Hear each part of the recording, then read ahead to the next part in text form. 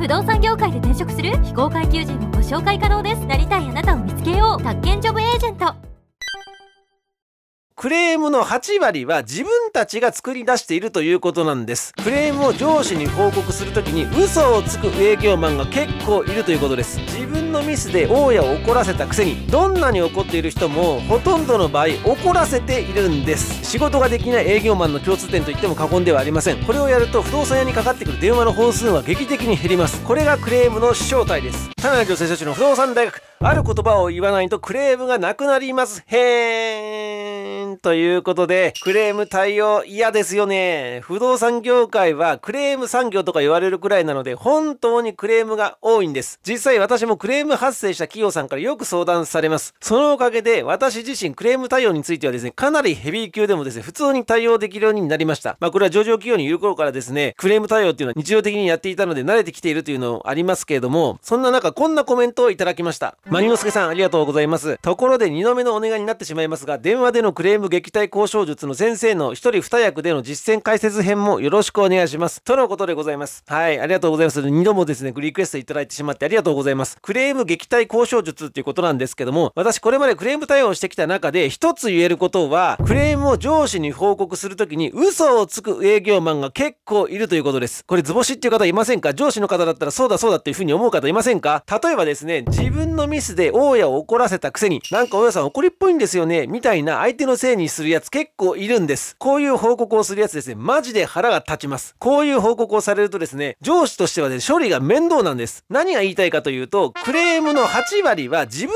たちが作り出しているということなんです。不動産会社のクレームで多いのは大体このいずれかです。こちらです。折り返しの電話がない。状況報告の電話がない。送ると言われた書類が送られてこない。言葉遣いが悪い。ほとんどのクレームは大体これらのいずれかがトリガーになっています。どんなに怒っている人もほとんどの場合怒らせているんです。そして担当者がそれに気づいていないんです。これがクレームの正体です。ですからクレーム撃退法を知る前にまずはこれらの状況の予防策が重要になります。私が上場企業にいた時にやっていた対策をご紹介します。ポイント1こちらです。折り返しという言葉を使わない。これ仕事をしていると安易に使いがちなんですよね。これ言いませんか？折り返しいたします。折り返しさせますみたいなこと言いませんか？担当者がいないと折り返し連絡しますとか言いますよね。これを言っている方っていうのはですね機械的に言っているケースが多いんですけどもこれはですね言われた側は比較的早く連絡をもらえると勝手に想像します。勝手に期待します。不動産屋の店舗っていうのは忙しくなると折り返しという言葉を連発する傾向があります。私がいた店舗もですね折り返し電話の嵐でした。そして比例してクレームが頻発します。なのでまずはですね折り返しという安易な表現を一切禁止します。これが一番効果的です。私がいた店舗でもですねこれは実際にやりました。結局賃貸の不動産屋ってですねお客さんを営業マンが案内に行くので店にいる時間よりもいない時間の方が長いんです。ということはお店に誰かから電話かかってくると折り返しになってしまう可能性が高いということなんです。その上で戻り時間が明確に分かっている場合はその時間を目安に連絡をするよう申し伝えますみたいにですねできるだけ具体的に伝えます。時間がわからない場合は大変申し訳ございませんが何時に戻れるかわからない状況でございます。本日中にはご連絡いたしますが遅くなってしまう可能性がある点ご了承ください。さいませ。まあこんな感じでですねあらかじめ遅くなるということを明確に伝えてください。機嫌が悪くなるんであればこの時点で機嫌が悪くなってもらっといた方がまだいいんです。不動産会社のほとんどのクレームは相手に無駄な期待をさせたことに対する裏切りで発生します。不動産屋は忙しいんです。一旦外に出たら何時に戻れるかわからないことの方が多いと思います。そうであればそれをある程度正直に相手に伝えた上ですぐに連絡できないことを理解してもらいましょう。これはちゃんと説明すれば理解してもらえます。どうしてもお客さんが急ぎといういう場合は電話に出た人が代わりに対応する方向に切り替えてください。こうするだけでクレームはかなり減ります。私がいた店舗でも折り返しという言葉を一切禁止したところですね。だいぶクレーム減りました。そして電話も減りました。業務効率が上がります。いいことしかありません。ぜひお勧めいたします。そしてポイント2